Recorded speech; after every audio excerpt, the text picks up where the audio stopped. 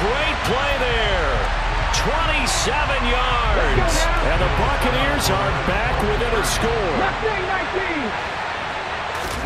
Hurts will throw. And oh, it'll be intercepted. Through an opening, and there he goes. He's at the 50, 30, 10, 5, and he takes it all the way back.